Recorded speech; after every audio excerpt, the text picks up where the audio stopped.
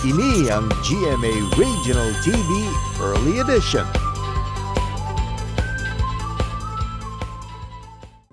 And we are back mga kapuso. You're still watching GMA Regional TV Early Edition. For sure, excited na kamo nga mahibaluan ang mga latest nga balita kay kapuso star Yasser Marta nga igadulong man ni Guapa Caitlin Revilla. Guaps, good morning.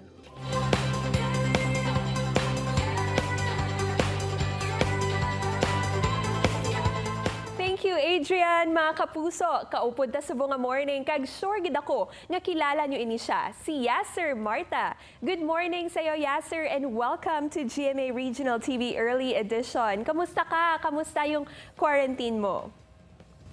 Ah, ayan, hello Miss Kate and sa lahat ng mga kapuso natin dyan sa Western Visayas. Uh, stay safe po sa atin lahat. And ayan, ah, I'm doing good. Ah, so far, so good naman. Ah, at least ngayon, mas nag adapt na ako sa bago nating ah, system. Ayan, sa new normal na nangyayari. Yes, that that's good to know, Yasser. And you know what? Everyone stayed at home for the past few months. Ikaw, what keeps you busy? May mga tips ka ba na pwedeng i-share para maging productive naman ang araw ng ating mga kapuso na nanonood ngayon sa bahay nila? Ah, first of all, nabago na sa akin yung body clock ko, yung pagtulog ko talaga. Ah, hindi na hindi na ako nagpupuyat for the for the past five months.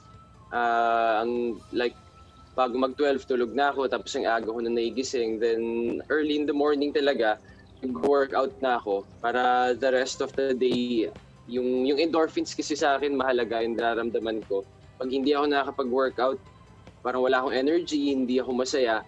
And yun, I still keep myself fit and laging nag-workout. Yes, yan kasi talaga yung pinaka-importante, yung kumpleto yung tulog natin. So, let us talk about bilangin ng bituin sa langit. And you know what? Everyone is excited to watch it again soon. Firstly, Yeah. kamusta ang tambalang June at Maggie? And how was it working with Kailin Alcantara? Ayan, ah, working with Kaylin, sobrang swerte ko. Sobrang pasasalamat ko din with GMA Artist Center and GMA Network. Ah, bata pa lang si Kaylin, napapanood ko na, napapanood ko na siya, hindi pa ako nagsimula as an actor. Then ngayon, for my biggest break, siya na agad ang nakakatambal ko. So, malaking pasasalamat. And with June and Maggie, sobrang kami naman ni Kaylin nung una ko lang nung una ko pa siyang na-meet nung sa Kambal Karibal, nag-guest ako doon pero kontra bida. Ah, ayun, sobrang gaan na niyang katrabaho eh. Napaka-jolly person niya.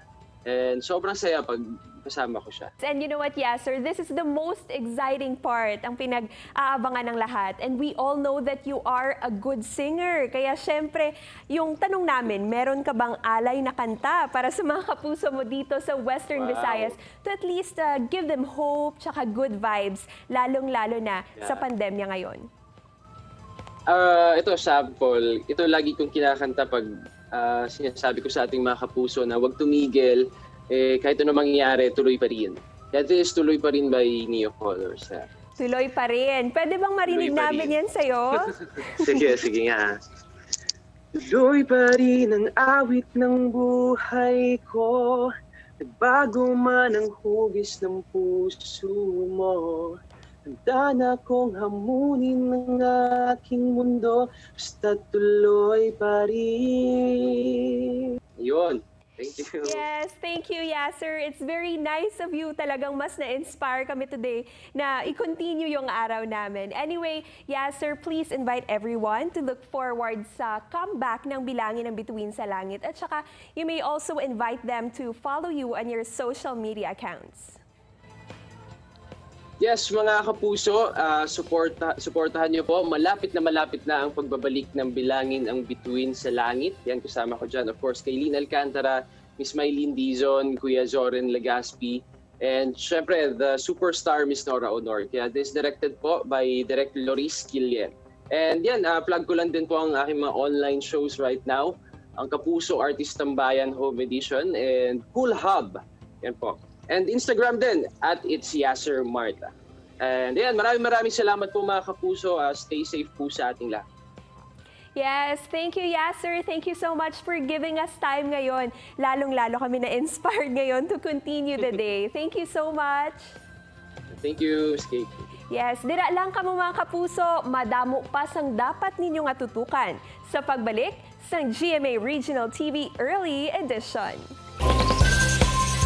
Ini ang GMA Regional TV Early Edition.